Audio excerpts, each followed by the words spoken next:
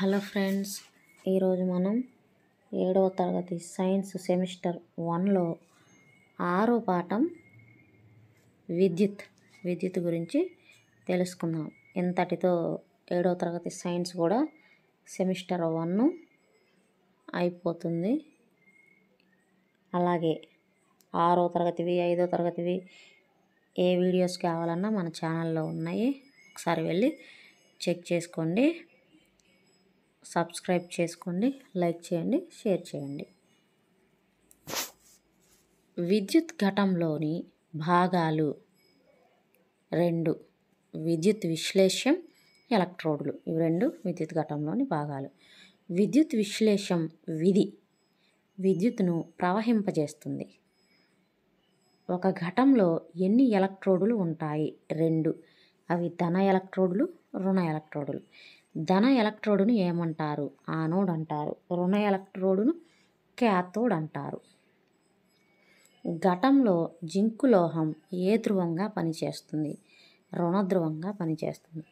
ఘటంలో లోహపు మూత కలిగిన కార్బన కడ్డి ఏ ధ్రువంగా పనిచేస్తుంది? ధన ధ్రువంగా పనిచేస్తుంది. ఘటంలో విద్యుత్ విశ్లేష్యంగా పనిచేసే విద్యుత్ విశ్లేషంగా పనిచేసేది ఏ రసాయనాల మిశ్రమం?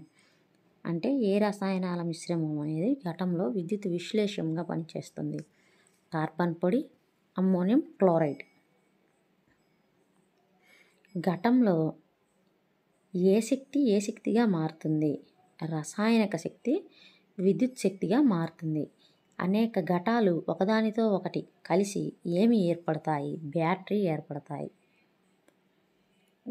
ఘటాన్ని తయారు చేయడానికి ఒక తాజా నిమ్మపండుకి రాగి పలకను జింకు పలకను అమరిస్తే విద్యుత్ విశ్లేష్యంగా పనిచేసేది ఏది? నిమ్మరసం. విద్యుత్ విశ్లేష్యం నిమ్మరసం.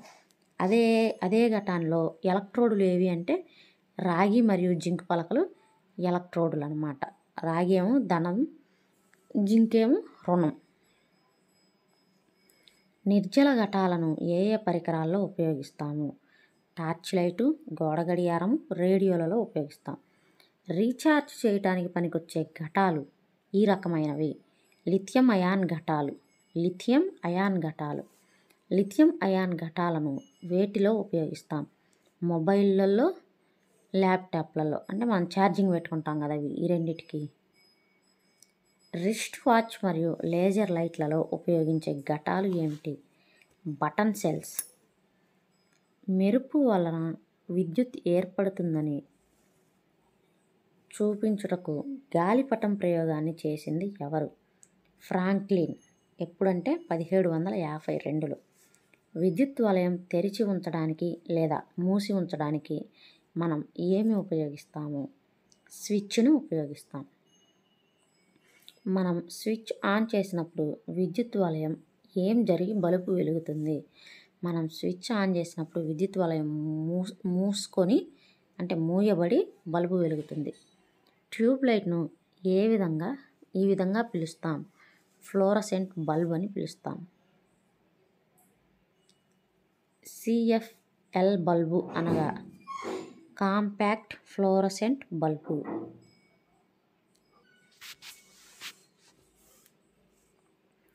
సాధారణ బల్బును ఉపయోగించినప్పుడు ఆ బల్బు మనకు ఏమి ఇస్తుంది?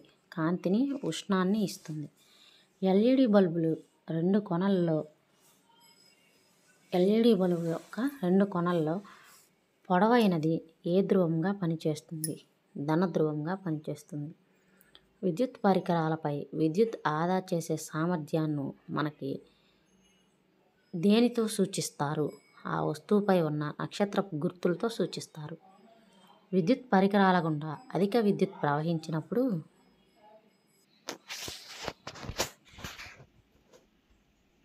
విద్యుత్ పరికరాల గుండా అధిక విద్యుత్ ప్రవహించినప్పుడు జరిగే ప్రమాదాలను నిలువరించడం కోసం మనం ఏమి ఉపయోగిస్తాం? విద్యుత్ ఫ్యూజ్. విద్యుత్ ఫ్యూజ్ దేంతో తయారు చేస్తారు? సిరామిక్ పింగాణితో. ఎంసిబి అనగా మినియేచర్ సర్క్యూట్ బ్రేకర్. ఒక విద్యుత్ వలయంలో విద్యుత్ పరికరాలు అమరికను చూపే పటాలను ఏమంటారు? వలయ పటాలు అంటారు. మొదటి పరికరం యొక్క రెండవ కొన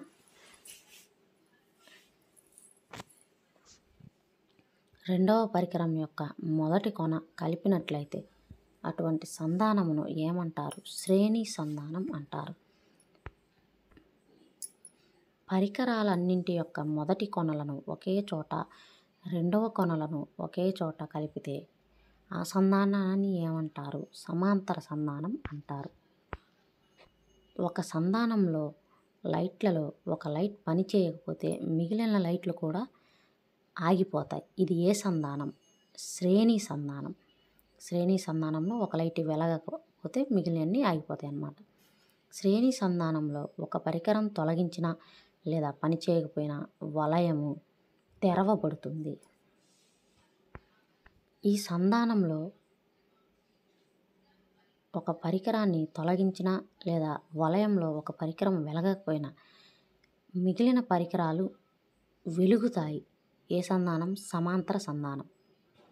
సమాంతర సంధానంలో విద్యుత్ బల్బులో ఒకటి తొలగించిన వలయం మూసుకొని ఉంటుంది.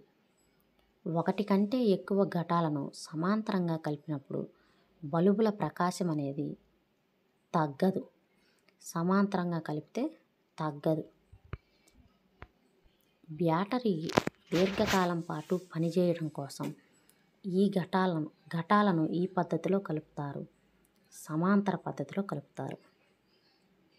ఘటాల శ్రేణి సంధానాన్ని మనం వేటిలో చూస్తాం? టార్చ్ లైట్ బొమ్మలు రిమోట్లు గోడ గడియారాలు రేడియోలలో చూస్తాం. శ్రేణి సంధానంలో కలిపినప్పుడు ఎక్కువ సంఖ్యలో బల్బులను వేగిస్తే బల్బుల యొక్క ప్రకాశం తగ్గుతుంది. అదే సమాంతర సంధానంలో అయితే తగ్గదు. శ్రేణి పద్ధతిలో ఏదైనా ఒక బల్బును తొలగించిన లేదా పగిలిపోయిన వలయం తెరవబడి బల్బు వెలగదు. అలంకరణ కోసం బల్బులను ఏ పద్ధతిలో అనుసంధానం చేస్తారు? శ్రేణి పద్ధతులు. మన ఇళ్ళల్లో విద్యుత్ పరికరాలు అన్నింటినీ ఏ పద్ధతిలో కలుపుతాము? సమాంతర పద్ధతిలో కలుపుతాం. మన ఇళ్ళలో విద్యుత్ వలయాలు సమాంతర పద్ధతిలో కలుపుతాం. అంటే ఒకటి వెలగకపోయినా కానీ మిగిలిన అన్నీ వెలుగుతాయి అన్నమాట ఒకటి వెలగకపోయినా మిగిలిన అన్నీ వెలుగుతాయి అంటే అది సమాంతరం. ఒకటి ఆగిపోతే అన్నీ ఆగిపోతాయి. ఇది శ్రేణి. తీగకుండా విద్యుత్ ప్రవహించగానే ఉష్ణం జననించడాన్ని ఏమంటారు? విద్యుత్ యొక్క ఉష్ణ ఫలితం అంటారు. విద్యుత్ యొక్క ఉష్ణ ఫలితం ఆధారంగా పనిచేసే ఉపకరణాలు విద్యుత్ పొయ్యి రూమ్ హీటరు ఇస్త్రీ పెట్టె కాఫీ కెటిల్. ఇంకా రైస్ కుక్కర్లు ఇవి కూడా.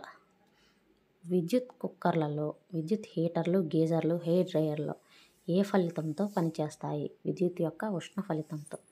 సాధారణంగా ఫిలమెంట్ను ఈ లోహంతో తయారు చేస్తారు. నిక్రోమ్. అదే విద్యుత్ బల్బులో ఉండే ఫిలమెంట్ను దీంతో తయారు చేస్తారంటే టంగ్స్టన్తో తయారు చేస్తారు.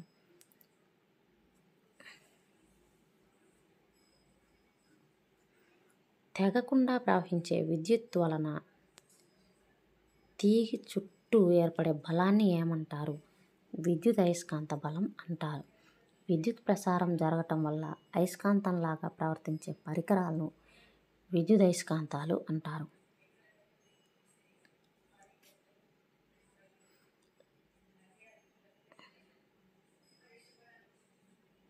విద్యుత్ అయస్కాంతాలను ఏ పరికరాల్లో ఉపయోగిస్తారంటే ఎలక్ట్రికల్ క్రేన్లలో ఈ విద్యుత్ అయస్కాంతాన్ని ఉపయోగిస్తాం. విద్యుత్ ప్రవహిస్తున్న తీగ చుట్టూ అయస్కాంత క్షేత్రం ఏర్పడుతుందని కనుగొన్న శాస్త్రవేత్త ఆయిర్స్టడ్ ఎలక్ట్రోమాగ్నెటిక్ రైలు విద్యుత్ అయస్కాంతం యొక్క ఈ ధర్మాన్ని ఉపయోగించి పనిచేస్తుంది. అయస్కాంతం యొక్క వికర్షణ ధర్మంతో ఎలక్ట్రోమాగ్నెటిక్ రైలు ప్రయాణిస్తుంది. బల్బు యొక్క సామర్థ్యాన్ని తెలియజేసేది వాటేజ్. ఒక kilo watt is equal to thousand watts. ఒక కిలో వాట్ విద్యుత్ విద్యుత్తు గంట పాటు వినియోగించిన దానిని ఏమంటారు? కిలో వాట్ అవర్ అంటారు. ఒక kilo watt hour is equal to ఒక యూనిట్ విద్యుత్. తీగ చుట్టూ అయస్కాంతం అటు ఇటు కదిలినప్పుడు తీగ చుట్టూ విద్యుత్ జన్ జన్నిస్తుంది. అని గుర్తించిన శాస్త్రవేత్త మైకెల్ ఫారడే తీగ చుట్టూ అయస్కాంతం అటు ఇటు కదిలించినప్పుడు విద్యుత్ జననిస్తుంది అనే సూత్రం ఆధారంగా పనిచేసేవి జనరేటర్లు ట్రాన్స్ఫార్మర్లు డైనమో. ఈ డైనమోను కనుక్కున్నది కూడా ఆయనే మైకేల్ ఫారడే. ఒక వ్యక్తి విద్యుత్ జనకాన్ని తాకినప్పుడు ఏం సంభవిస్తుంది? విద్యుత్ ఘాతం సంభవిస్తుంది. సిపిఆర్ అనగా కార్డియో పల్మనరీ రిసిస్ట్రేషన్ విద్యుత్ ఉపకరణాలు మన భద్రత కోసం ఏ మార్కును చూసి తీసుకోవాలి? ఐఎ ఐఎస్ఐ మార్కు. ఐఎస్ఐ మార్క్ అనగా ఇండియన్ స్టాండర్డ్స్ ఇన్స్టిట్యూట్.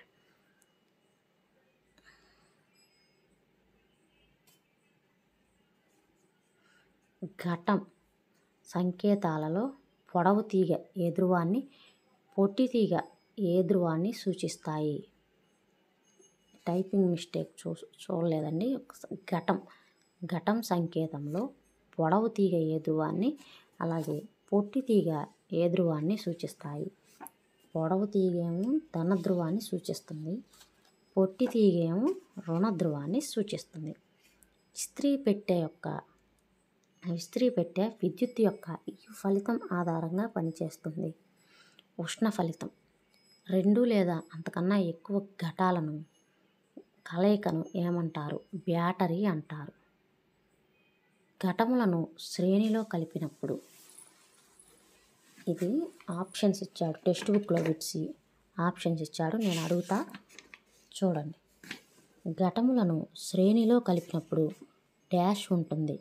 ఒకే లూప్ అంటే ఒకే మార్గం రెండు లూప్లు రెండు మార్గాలు అనేక లూప్లు ఏది కాదు. ఆన్సరు ఏ ఒకే లూప్. నాలుగు బల్బులను సమాంతరంగా కలిపినప్పుడు ఒక బల్బును తొలగించిన మిగిలిన బల్బులు సమాంతర సంధానంలో ఒకటి పోయినా కానీ మిగిలిన అన్నీ వెలుగుతాయి మన ఇల్లే గుర్తుపెట్టుకోండి. మన ఇల్లు సమాంతరం. ఎందుకంటే మన ఇంట్లో ఒక లైటు వంటగదిలో లైట్ ఎలగలేదనుకో మిగిలిన లైట్లన్నీ వెలుగుతాయి మనది సమాంతర సంధానం. తర్వాత ఇక్కడ రెండు ప్రవచనాలు ఇచ్చారు. విద్యుత్ ప్రవహించుట వలన ఉష్ణం జనించుట విద్యుత్ అయస్కాంత ఫలితం అంటారు. రెండో ప్రవచనం ఏంటంటే విద్యుత్ అయస్కాంతం విద్యుత్ వలన కలిగే అయస్కాంత ఫలితంపై పనిచేస్తుంది. ఇదిలో ఇది చూడండి. ఒకటి రెండు సత్యము ఒకటి రెండు అసత్యము ఒకటి సత్యం రెండు అసత్యం ఒకటి అసత్యం రెండు సత్యం అన్నాడు. ది ఆప్షన్ ఫోర్ ఒకటి అసత్యము రెండు సత్యము. ఎందుకంటే ఒకటోది విద్యుత్ ప్రవహించడం వలన ఉష్ణం జనించుట అనేది విద్యుత్ అయస్కాంత ఫలితం అంటారు అన్నాడు. ఇది విద్యుత్ అయస్కాంత ఫలితం కాదు విద్యుత్ ఉష్ణ ఫలితం. తర్వాత రెండోది విద్యుత్ అయస్కాంతం విద్యుత్ వలన కలిగే అయస్కాంత ఫలితంపై పనిచేస్తుంది. ఇది అవును.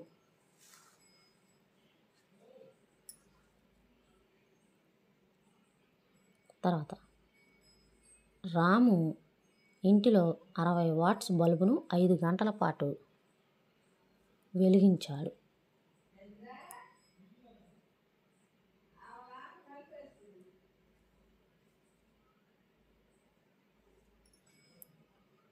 అప్పుడు ఎన్ని యూనిట్ల విద్యుత్ వినియోగించాడు అంటే సున్నా పాయింట్ మూడు కేడబ్ల్యూహెచ్. ఈ లెక్కలు ఫిజిక్స్లో లెక్కలు ఇంపార్టెంట్ బిట్స్ వస్తాయి లెక్కల మీద విద్యుత్ ఉష్ణ ఫలితం ఆధారంగా పనిచేసేది ఏది? హెయిర్ డ్రయ్యర్ ఆ తర్వాత మ్యాచింగ్ ఇచ్చాడు. ఎంసీబీ అనగా మీనియేచర్ సర్క్యూట్ బ్రేకర్ ఫ్యూజ్ అనగా వలయంలో ఉపయోగించు రక్షణ పరికరం. బ్యాటరీ అంటే బ్యాటరీ అంటే రెండు లేదా ఎక్కువ ఘటాల కలయిక. ఘటము అంటే రసాయన శక్తిని విద్యుత్ శక్తిగా మారుస్తుంది. అలాగే ఇక్కడ లెక్కలు ఇచ్చాడు ఈ లెక్కలు కూడా అడిగే ఛాన్స్ ఉంటుంది. ఒకసారి మనం చూసుకోవాలి. ఒక ఇంట్లో వంద వాట్ల బల్బులు ఐదు అరవై వాట్ల బల్బులు ఐదు నలభై వాట్ల బల్బులు ఐదు ఉన్నాయి. ప్రతిరోజు అన్ని బల్బులను ఐదు గంటల చొప్పున వెలిగించారు. అయినా రెండు వేల ఇరవై ఒకటో సంవత్సరం ఫిబ్రవరి నెలకు ఎన్ని యూనిట్లు ఖర్చు అయింది అలాగే యూనిట్ ధర రెండు పాయింట్ ఎనభై పైసల చొప్పున ఎంత బిల్లు చెల్లించాలి అని అడిగాడు. ముందు విద్యుత్తు ఎంత వాడాడో వోల్ట్ వోల్ట్లలో మనం రాసుకోవాలి. వంద వాల్ట్ల బల్బులు ఐదు అంటే ఐదు వందల వోల్ట్లు తర్వాత అరవై వాల్ట్ల బల్బులు ఐదు మూడు మూడు వందల వోల్ట్లు తర్వాత నలభై వాల్ట్ల బల్బులు ఐదు రెండు వందల వోల్ట్లు మొత్తం వెయ్యి వోల్ట్లు వచ్చింది. వెయ్యి వోల్ట్లు. ఇప్పుడు ఈ వోల్ట్లలో ఉన్నదాన్ని మనం కిలో వోల్ట్లలోకి మార్చుకోవాలి. వెయ్యి వోల్ట్లు అనేది ఒక కిలో వాట్ పర్ అవర్ అనమాట ఐదు గంటలు ఇంటూ రోజుకి ఐదు గంటలు వెలుగుతాయి కదా. ఐదు గంటలు ఇంటూ వెలిగిన మొత్తాన్ని మనం మార్చాం కదా. ఒక కిలో వాట్. అంటే ఐదు కిలో వాట్లు.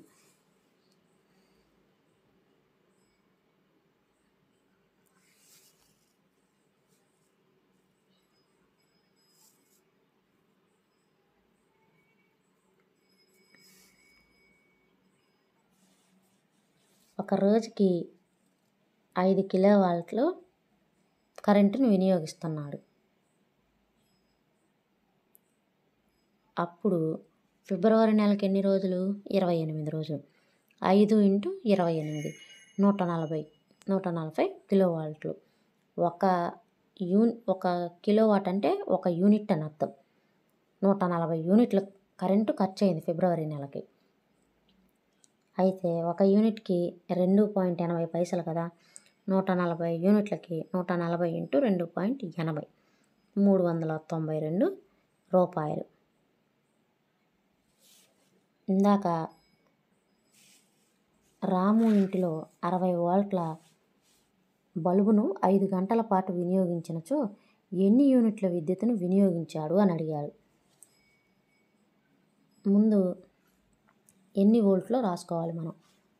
అరవై వోల్ట్ల బల్బును ఐదు గంటలు వెలిగించాడు. అరవై ఇంటూ ఐదు మూడు వందల వోల్ట్లైంది ఈ మూడు వందల వోల్ట్లని కిలో వోల్ట్లు వోల్ట్ ఫర్ అవర్కి మార్చుకోవాలి. అప్పుడు మూడు వందలు బై వెయ్యి అవుద్ది.